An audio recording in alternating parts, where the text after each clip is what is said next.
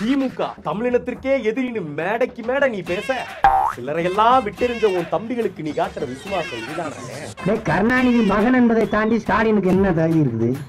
கருணாநிதிக்கு தகுதி இல்லைங்கிற அப்புறம் மகனுக்கு நீங்க தகுதி இருக்குது கோவப்படுறதுக்கு என்ன இருக்கு ராஜா? அவ்வளவு மானம் இருக்குன்னா திமுக நீ இருக்கக்கூடாது ராஜா.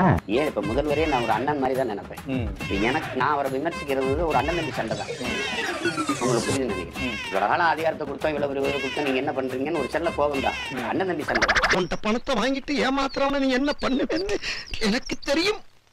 அவன் கழுத்தை கர கர கர கழுத்தை அறுப்பு கர கர கரன்னு அறுத்து கடல்ல கடல்ல.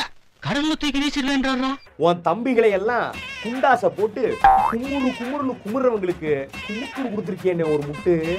பெரிய படத்தை மட்டுமே வந்து வாங்குறவங்க வந்து இந்த சின்ன தம்பிகிட்ட சொல்லுவேன் உதயநிதிட்ட சொல்லுவேன் சின்ன படத்தை வாங்கி வெளியிடுப்பா தம்பி. அண்ணன் கூட ஒரு படம் எடுத்து வச்சுக்க அதை வாங்கி கூட. நான் வந்து உங்களுக்கு மானங்கிற கேக்குறேன்டா. உங்களுக்கு வெக்க மானம் சூடு சொன்ன ஒண்ணுமே கிடையாது.